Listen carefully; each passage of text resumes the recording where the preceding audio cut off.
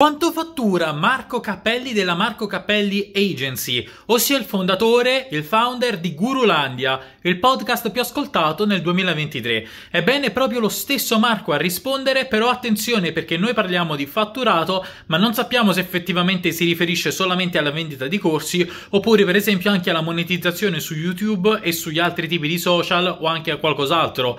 Insomma, non sappiamo con certezza di che cosa si parla, comunque ti lascio il video più cresceva Gurulandia e più cresceva poi il fatturato. Non c'è stata proprio quella una puntata in particolare o un momento in cui è stato molto graduale. Anche il fatturato mensile sta, veramente è proprio se, se, ti faccio vedere sì. un grafico è veramente così. Così mi sembra in qualche intervista un per tre praticamente. Diciamo che il lato formazione si fatturava sui 100.000 euro mensili prima di Gurulandia, ora siamo sui 300 come ti dicevo.